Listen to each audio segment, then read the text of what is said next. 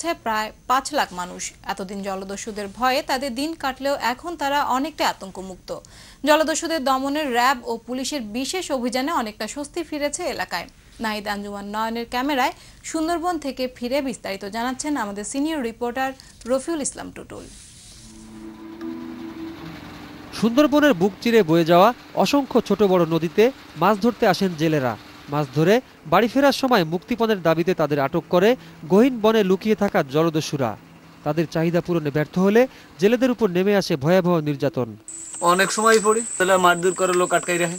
ব্যাপার করে আপনার এগুলো পুলিশ বা বন বিভাগকে জানান? কোনো লাভ হবে না জানেন। আমাকে ছয় জনের রিং মারছে। কি জন্য মারছে? টাকা চাইছে টাকা দিতে পারিনি কত টাকা চাইছিল? কত টাকা টাকা কিছু কয় না খালি কইছে টাকা দে। আচ্ছা কারা মারছিল? জলদস্যু টাকা। জলদস্যুদের এসব কর্মকাণ্ড বন্ধে পুলিশের পাশাপাশি র্যাবের বিশেষ অভিযানে সম্প্রতি নিহত হয় শীর্ষ জলদস্যু নেতা বিডিআর তসলিম। গ্রেফতার হয় আরেক শীর্ষ নেতা কবির বয়াতি। তার স্বীকারোক্তি অনুযায়ী মেজর সুমনের নেতৃত্বে র্যাবের একটি বিশেষ দল অস্ত্র উদ্ধারে যায় সুন্দরবনে।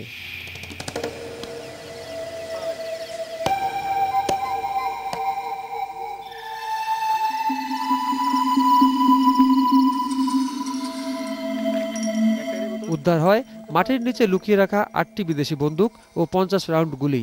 সুন্দরবনকে ঘিরে যারা বিভিন্ন ধরনের ব্যবসা করে, তারাই মূলত শিকার হয় জলদস্যুদের। একটা শ্রেণির পেশাদার লোক আছে যারা এই ব্যবসাটা করে থাকে, যারা সুন্দরবন রিলেটেড ব্যবসাটাই করবে। এবং তারা দীর্ঘদিন যেমন ব্যবসা করে থাকে, এবং তাদের কাছ থেকেই এই ডাকাত বাহিনী বিপুল পরিমাণ চাঁদা নেয়। আর যদি চাঁদা দিতে ব্যর্থ হয়, তাহলে সঙ্গে সঙ্গে অপহরণ করে নিয়ে যাবে, অথবা ওখানে মেরে ফেলতে পারে। সুন্দরবন এলাকায় অভিযান চালানোর মতো পর্যাপ্ত সুযোগ সুবিধা নেই আইন শৃঙ্খলা রক্ষাকারী বাহিনীর। এরপরও অভিযান চালাতে নতুন পরিকল্পনার কথা জানালেন র্যাব ছয়ের পরিচালক। RAB forces three dimensional force হিসেবে আবির্ভূত হবে এবং আমাদের হেলিকপ্টার কেনার পরিকল্পনা রয়েছে, তাহলে আমাদের ভার্টিক্যাল মুভমেন্টে সহায়তা হবে। তো সেক্ষেত্রে আমরা যে কোনো অপারেশন পরিচালনা করলে পরে আপনার যে চেইন অফ এভাকুয়েশন বলি অথবা লজিস্টিক সাপোর্ট বলি বলি, সেগুলো সুরাহা হবে। সুন্দরবন থেকে এ পর্যন্ত উদ্ধার করা হয়েছে চল্লিশটি বিদেশি বন্দুক সহ প্রায় এক হাজার রাউন্ড গুলি। সম্প্রতি র্যাবের অভিযানে বেশ কয়েকজন জলদস্যু গ্রেপ্তার ও নিহত হওয়ায় এলাকার জেলেরা এখন অনেকটা স্বস্তিতে।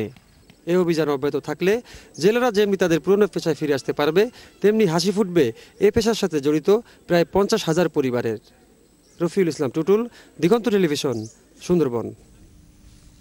এবারে আসন্ন জাতীয় সংসদ নির্বাচনে আমাদের নিয়মিত প্রতিবেদন নির্বাচন দু হাজার আট।